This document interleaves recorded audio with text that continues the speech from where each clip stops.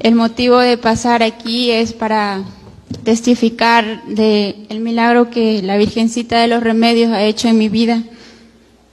Pues un 22 de enero me diagnosticaron de cáncer y pues he estado en tratamiento y 18 jueves 18 de mayo pues asistí a la a una cita que me habían dejado para hacerme una operación y pues me quitaron los bueno, las chiches y solo me dejaron los hoyos. Bueno, me hicieron la operación y entonces yo yo caí en depresión y pero siempre confiando en la Virgen de los Remedios y pidiéndole con fe.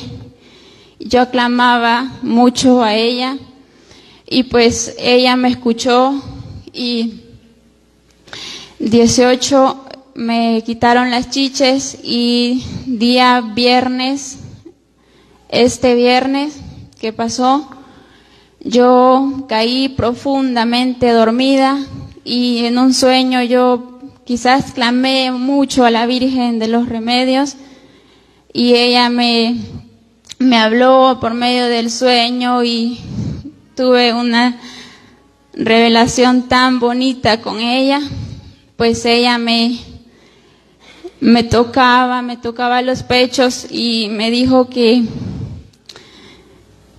que me iba a poner unos pechos nuevos para que luchara. Soy madre de dos hijos.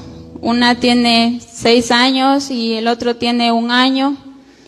Eh, domingo 21 los cumplió, cumplió un año. Entonces ella me dijo, hija mía, yo te amo y debes de luchar por tus hijos.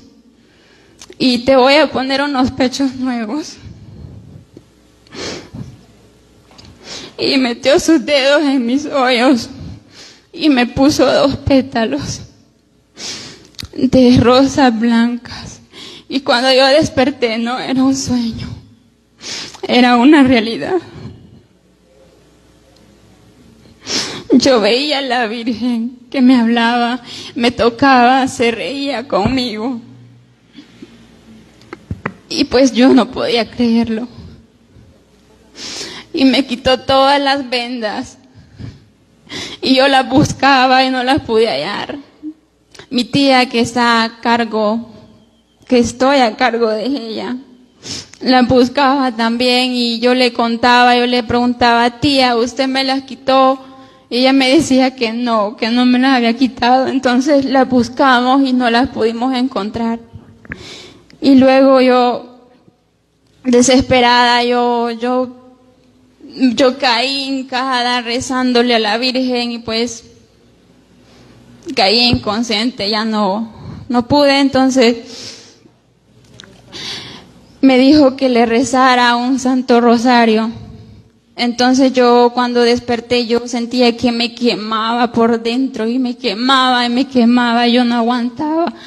Yo le decía a mi tía, yo, yo tengo fuego, apáguemelo, por favor, me quemo, le decía yo. Entonces ella, ella me dijo, no tienes nada. Y entonces cuando yo desperté, yo salí corriendo para el espejo porque ella me dijo que me había puesto unos pechos nuevos. Y así fue. Me puso unos pechos nuevos. Ya no tengo hoyos, ya no tengo operación. No tengo nada, yo no siento dolor, no siento nada. Y todo se lo debo a ella.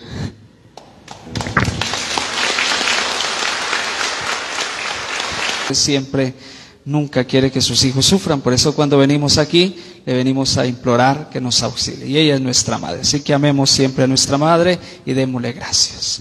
La Santa Misa termina.